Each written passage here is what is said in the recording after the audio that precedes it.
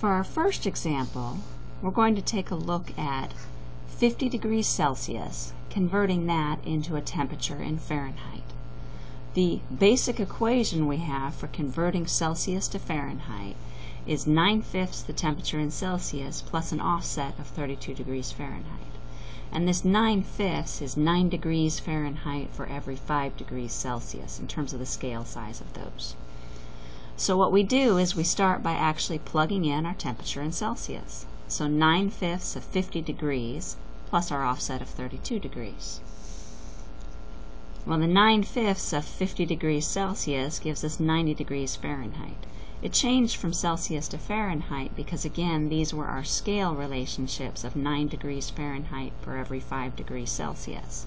And we still have our offset of 32, giving us a final answer of 122 degrees Fahrenheit.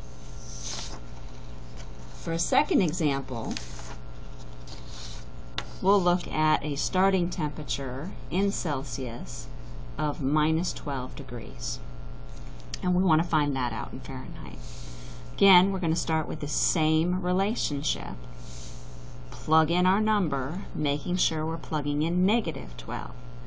So 9 fifths of negative 12 gives us a minus 21.6 plus our 32 degree offset. And that gives us a final temperature of 10.4 degrees Fahrenheit. When you're doing calculations like this, where we don't have nice even numbers like we did in the first example, make sure you keep your decimal point. Now the 32 is actually a definite point there. So it's 32.000 whatever. We don't have to worry about significant digits.